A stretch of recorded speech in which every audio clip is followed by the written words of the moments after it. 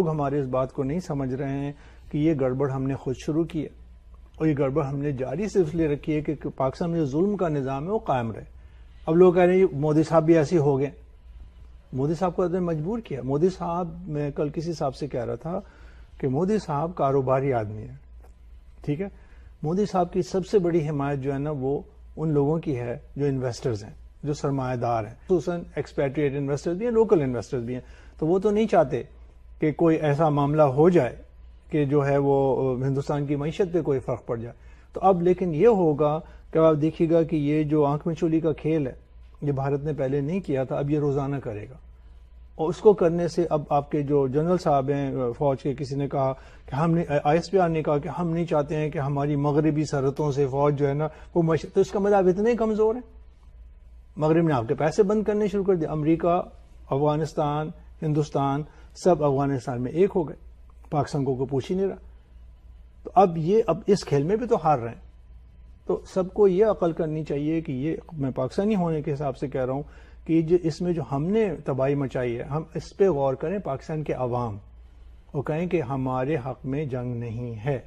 مجھے جو ڈر لگتا ہے گورا صاحب، وہ یہ لگتا ہے کہ ایسا نہ ہو کہ ہماری ان حرکتوں کی وجہ سے ہمارا حشر بھی شام و عراق جیسا ہو جائے۔ اس کا امکان مجھے بہت نظر آ رہا ہے۔ مجھے یہ بھی لگتا نظر آ رہا ہے کہ کسی نہ کسی دن آپ پہ بہت سخت پابندیاں لگنے والی جو ہوتی نا انٹرنیشنل اکنامک سینکشن آپ اپنے ٹیررزم کو نہیں ختم کریں گے۔ لگے گا جب یہ لگے گا تو عوام کو نا، جس کو کہتے ہیں کہ چھٹی کا دودھ یاد آ جائے گا۔ اور ایسا نہ، اللہ نہ کرے کہ ایسا ہو۔ اور مطلب میں آخری بات یہی کہنا چاہتا ہوں کہ جنگ اچھی نہیں ہے۔ کسی نے بھارت کے لیے بڑی اچھی بات کہی ہے کہ بھارت کے کارڈز بڑے ہیں۔ بھارت کا اپر ہینڈ ہے۔ اس کو اس کو اسمارٹلی اس کو کھیلنا چاہیے اور اپنے کارڈ ضائع نہیں کرنے چاہیے۔ تو وہ مودی صاحب اور ان کے لوگ خود بھی سوچ رہے ہوں گے۔ مودی صاحب خود بھی کہہ رہے ہم جنگ نہیں کرنی چاہتے، وغیرہ وغیرہ۔ اب یہ جو ہم لگے ہوئے ہیں کہ جی یہ ہوئی تھی کہ نہیں سرجیکل اسٹرائک اس سے کیا فرق پڑتا ہے؟ ایک مبصر کا تو یہ بھی کہنا ہے کہ آپ اس لیے بار بار بات کہہ رہے ہیں کہ اگر آپ نے مان لیا تو عوام آپ سے کہیں گے، بھائی، آپ ہو کیا چیز؟ آپ نے ہونے کیسے دیا یہ؟ تو اب ان کے بھی گلے میں یہ چچندر بھی اٹک گئی ہے۔ اس کو نکالنا چاہ رہے ہیں۔ بار بار نہیں نہیں، اس نے کہہ دیا کہ نہیں ہوئی تھی، اس نے کہہ دیا۔ یہی کہہ رہے نا، وہ اقوام متحدہ مبصری نے کہہ دیا، نہیں تھی بھائی ایسے نہیں ہے۔ جو کچھ بھی وہاں ہوا ہے، وہ پہلے نہیں ہوا تھا۔ بھارت نے آپ کے ایسا انکرجن پہلے کیا نہیں تھا۔ اب اگر وہ یہ بار بار کرنے لگا آپ کے ساتھ، تو آپ کو تو تھکا کے رکھ دے گا۔ اب جو مودی صاحب نے تھوڑا سا سخت سٹینڈ لیا اور بھارتی حکومت کی طرف سے جیسا کہ آپ نے شروع میں بھی کہا کہ وہ والا نرم رویہ نہیں برتا گیا جو پہلے کانگریس کی حکومت کے دوران برتا جاتا تھا۔ اب انہوں نے پاکستان کو کہا کہ خون اور پانی ایک ساتھ نہیں بہ سکتے۔ اس طرح آپ مجھے بتائیے کہ کوئی بھی مجھے بتائے کہ جو دنیا کا میڈیا ہے یا دنیا کے مبصرین ہیں، کیا وہ پاکستان کی مظلومیت کو تسلیم کر رہے ہیں؟ وہ نہیں کر رہے ہیں۔ امریکہ بھی بار بار کہہ رہا ہے، جب بھی جب بھی وائٹ ہاؤس کے بیان آتے ہیں تو وہ کہتا ہے بھائی اپنے یہاں سے دہشت گرد تو بھیجنا بند کریں آپ۔ ہم چاہتے ہیں۔ دیکھیے، بہت امپورٹنٹ بات ہے۔ انہوں نے کہا کہ ہم چاہتے ہیں کہ امن قائم ہو، آپ مل بانٹ کے رہیں، لیکن پاکستانیوں یہ اپنے جو جیش محمد فلانے فلانے، ان کو تو آپ قابو کرو۔ تو یہ تو آپ انفارچونیٹلی ایکسپوز ہو گئے ہیں دنیا کے اندر کہ ہم معصوم نہیں ہیں۔ اب اس معصومیت کا چرچا زیادہ کر سکتے نہیں ہیں آپ۔ دنیا نہیں مان رہی اس کو۔ اوپر سے بدقسمتی یا بیوقوفی کی بات یہ میں جو جنرل مشرف کے جس انٹرویو کا ذکر کر رہا تھا وہ ریکارڈ میں موجود ہے۔ انہوں نے اس انٹرویو میں ہندوستانی جرنلسٹ کو کہا ہے کہ ہم حافظ سعید کو اپنا ہیرو مانتے ہیں۔ جی۔ تو اس ساری صورتحال میں پاکستان تو مکمل طور پر اپنی اخلاقی جنگ ہار رہا ہے۔ قرار دے رہی ہے۔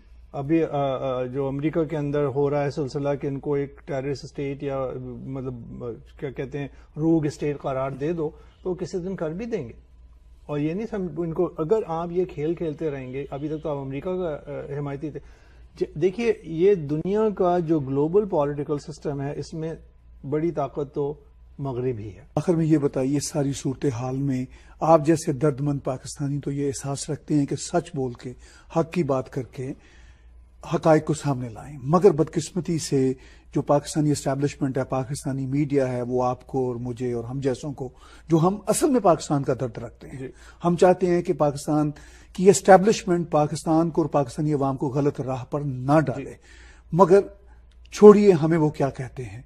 یہ اسٹیبلشمنٹ آپ کو فردر کہاں تک پاکستان کو لے جاتی نظر آ رہی ہے؟ کیونکہ سیونٹی ون میں تو یہ آلریڈی پاکستان توڑ چکے ہیں۔ میرا ایز اے پاکستانی اور لوگ یہ سمجھ جائیں، میری اپنی ذاتی رائے یہ ہے کہ ہمیں، ہم جہاں باہر سے بھی بیٹھے، ہمیں پاکستان کے مسائل کو پاکستان کی سرحدوں کے اندر ہی ریزالو کرنا چاہیے۔ ہمیں توقع نہیں کرنی چاہیے کہ پاکستان ٹوٹ پھوٹ جائے۔ ہمیں نہیں کرنی چاہیے۔ لیکن اندر سے جب آپ خود ہی اس توڑ پھوڑ کی طرف چلے جا رہے ہیں، تو وہ بچے گا نہیں۔ ٹکڑے تو آپ کروا کے رہیں گے، کیونکہ آپ کے یہاں آپس میں اتنی نفرتیں۔ اور وہ نفرتیں بار بار ایک جنگ کے پیچھے ہونے سے ہو نہیں جاتی ہیں۔ جب بھوکے مریں گے آدمی تو پھر آپ سب کو خیال آ جائے گا کہ کیا ہو رہا ہے۔ تو مطلب اسٹیبلشمنٹ جو ہے بدقسمتی سے پاکستان کو بد سے بدتر کی طرف لے جا رہی ہے۔ اور جنگ کے بہانوں سے بد سے بدتر کی طرف لے جا رہی ہے۔ میں میں نہیں چاہتا کہ پاکستان کے حصے بکرے ہوں، ٹوٹے بہت سے لوگ چاہتے ہیں کہ ٹوٹ جائے، ہو جائے ایک دفعہ، فنا، ایک دفعہ ہو بھی چکا ہے۔ وہ آپ نے تو یہ بات کہی کہ دونوں بڑے ملک ہیں، لیکن میں صرف اتنے کرنا چاہوں گا، لوگ پسند نہ کریں گے، ایک بہت بڑا ملک ہے اور ایک اس کے مقابلے میں بہت چھوٹا ملک ہے۔ آبادی کے حساب سے بھی اور اپنی معیشت کے حساب سے بھی اور جمہوریت کے تقابل کے حساب سے بھی۔ تو یہ ایک اہم بات ہے۔ دوسری بات یہ کہ یہ چھوٹا ملک ہے، یہ میری اپنی رائے ہے، بہت سارے لوگ اس کو نہیں پسند کرتے ہیں۔ یہ ساری کی ساری جو کشمیر کی جنگ ہے یا جوا ہے، اس کو میں جوا کہتا ہوں بھی اب بیان کروں گا، یہ ایک چھوٹے ملک نے شروع کیا ہوا۔ اور اس چھوٹے ملک نے مسلسل چار جنگیں لڑی ہیں جوئے میں اور ہر دفعہ ہارا ہے۔ سن اڑتالیس میں بھی ہارے، پینسٹھ میں بھی ہارے، اکہتر میں بھی ہارے، کارگل میں بھی بیک گراؤنڈ کو پیچھے کرنا پڑا۔ کرتے کیا ہیں کہ یہ جوا بھی کھیلتے ہیں تو اپنے پیسے سے نہیں کھیلتے۔ امریکی امداد لے کے تو غیر ملکی امداد لے کے یہ جوئے پہ پیسے لگا دیتے ہیں، ہار جاتے ہیں۔ پھر تھوڑے دن کے بعد جو آپ نے سائیکل کی بات کی تین تین سال میں، تو تین تین سال میں تو کئی کئی سالوں میں بات اٹھتی ہے۔ تو ہوتا کیا ہے کہ جب بھی پاکستان میں کوئی حکومت بیٹھی ہوتی ہے اور اس کو اپنے حکومت سمراج جو وہاں کا اسٹیبلشمنٹ ہے، حکومت تو نہیں، نواز شریف کی اس وقت، وہ اس کو لڑکھڑاتے ہوئے اپنا قبضہ نکلتا ہوا نظر آتا ہے، تو ایسی کوئی کھٹراک وہ شروع کر دیتے ہیں۔ تو اس وقت بھی اگر آپ دیکھیں، اچھی بلی بات چیت ہوتی ہے، جب بھی نواز شریف کی یا مودی کی یا ہندوستان کی کسی بھی حکم، واجپائی کی، جب بھی وہ امن کی بات یا تجارت کی بات کرنی چاہتے ہیں، تو ایک یہ پتھر جو ہے نا کشمیر کا آپ کے سامنے ڈال دیتے ہیں، جیسے گولی پھینکتے ہیں۔ اور وہ کرنے کے بعد اس کو خود ہی اٹھاتے ہیں۔ تو آپ سائیکل دیکھیں تو ہر بار یہ اتفاق سے یا حقیقت سے پاکستان نے یہ ساری بات اٹھائی۔ اور اس اب تک یہ ہوتا رہا ہے جو میں نے اس وقت جو ادھم مچ رہا ہے، دونوں اس سے پہلے اتنا نہیں مچتا تھا۔ اس وقت یہ ہو رہا ہے کہ مودی صاحب جو ہیں، ان کو بے تحاشا اپنے عوام کی حمایت حاصل ہے۔ اب سے پہلے بھارت جو تھا، وہ امن پرستی کے ساتھ کام کرتا تھا۔ مار کھاتے تھے اور ان کے گھر میں جا کے کسی نے بم مار دیا کبھی کچھ کر دیا کبھی کچھ کر دیا۔ اس دفعہ انہوں نے ذرا سخت گیری اختیار کرنی شروع کی ہے۔ وہ کہہ رہے ہیں کہ ہم اتنے آسان والے نہیں ہیں جتنا آپ نے ہمیں سمجھ رکھا ہے۔ تو اس وقت جو مسئلہ ہے وہ یہاں سے ہوا کیوں؟ ابھی اوڑی کیمپ پہ ہوا اس سے پہلے بمبئی میں ہوا اس کے کوئی مسائل حل ہوتے نہیں ہیں۔ بیچ میں پٹھان کوٹ بیچ میں پٹھان کوٹ ہوا۔ تو ہم یہ ساری کہانی خود ہی کھڑی کرتے ہیں اور پھر چاہتے ہیں کہ دنیا آپ کی واہ واہ کرے۔ لیکن بدقسمتی سے دنیا آپ کی واہ واہ نہیں کر رہی ہے۔ یہ میری رائے آپ کہتے ہیں کہ یہ ایک جوا ہے جو بدقسمتی سے پاکستان کی طرف سے کھیلا جا رہا ہے اور اس میں مدد وہ کہیں باہر سے لیتے ہیں۔ مگر اس بار اگر آپ کی بات کو ہم درست بھی سمجھے تو کہیں سے مدد بھی ان کو ملتی نظر نہیں آ رہی۔ نہیں اس دفعہ جوا کھیل رہے ہیں۔ دیکھیے تو دو طرح سے کام کرتے ہیں۔ پہلے تو یہ لیتے ہیں باہر سے مدد۔ یعنی یہ تو تاریخ ہے نا کہ پاکستان کی فوج امریکی امداد سے بنی ہوئی ہے۔ اسلحہ پاکستان کا، امریکی امداد سے پاکستان کا تیل سعودی عرب کے پیسے سے آتا ہے۔ بہت کم ایسا ہوتا ہے، خود کریں۔ ٹیکس آپ کو ملتے نہیں ہیں۔ تو جب آپ یہ جوا ہارتے ہیں، وہی کھیل کرتے ہیں کہ آپ وادن اے وطن کے سجیلے جوانوں کے گانے لگاتے ہیں اور جو آپ کی خواتین ہوتی ہیں، مائیں بہنیں بیٹیاں، ان سے جا جا کے ان کے ہاتھوں کی چوڑیاں اتارتے ہیں، ان کے کانوں کی بالیاں نکالتے ہیں، سب جا جا کے چادروں میں ڈالتے ہیں، اس کو بھی ہار جاتے ہیں۔ اور پاکستان کے عوام کو ہراتے رہتے ہیں، انہی کے پیسے تو ساری جنگ لڑ رہے ہیں جو ان کے پیٹ میں جانی چاہیے، اس سے آپ جنگ لڑ لیتے ہیں اور پھر کئی دن تک غریب ہو کے بیٹھ جاتے ہیں۔ آپ کا موقف بہت واضح ہے اور آپ کا یہ کہنا ہے کہ ایسا لگتا ہے کہ اس میں پاکستان ہی ہمیشہ سے پہل کرتا ہے۔ شاید اس کے بارے میں مبصرین کا یہ کہنا ہے کہ پاکستانی اسٹیبلشمنٹ کا سروائیول اس میں ہے یا فوج۔ جو اسٹیبلشمنٹ کی جب بات کرتے ہیں تو اس کا سب سے بڑا حصہ فوج کا ہے۔ اس کا سروائیول ہی اس میں ہے کہ کوئی نہ کوئی کانفلکٹ ہندوستان کے ساتھ رہے۔ جی۔ اس کانفلکٹ کے چکر میں وہ جوا بھی کھیل رہے ہیں۔ مگر ہم تھوڑا سا اگر ہسٹری میں جائیں جب پاکستان بنتا ہے فورٹی ایٹ میں پرنسلی اسٹیٹس کا ایک حصہ تھا کشمیر اور اس قبائلی پاکستان سے گئے اور انہوں نے کہا کہ یہ پاکستان کو ملنا چاہیے۔ جی۔ ہندوستان نے کوئی خاص ریزسٹنس نہ کی۔ بہرحال سلسلہ چلتا چلتا نائنٹین ایٹی نائن تک آتا ہے اور جب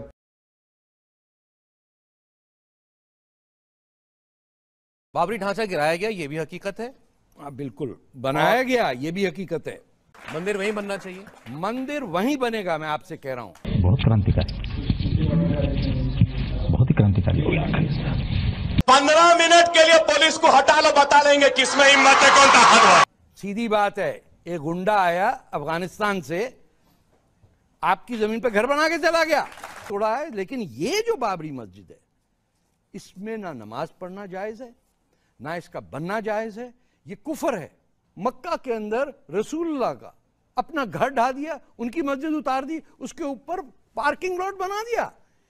کو بتائیے، ایک انڈین دارالعلوم ادھر ادھر دیوبندی، جس نے کہا ہوگا ارے صاحب سعودی عربیہ برداشت نہیں کریں گے، مسجدیں توڑ رہے ارے وہ دو دن میں مسجد توڑ دیتے ہیں۔ نمسکار دوستوں میرا نام دیپک ہے۔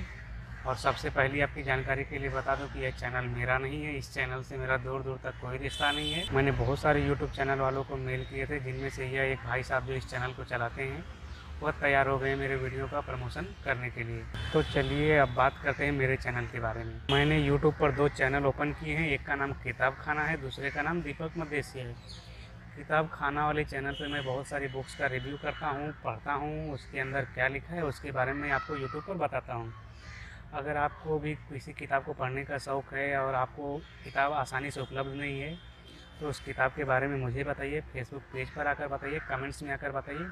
میں اس کتاب کو پڑھوں گا اور اس کے اندر کیا لکھا ہے، اس کے بارے میں بتاؤں گا۔ میں نے کتاب خانہ پہ آلریڈی تین ویڈیو اپلوڈ کیے ہیں۔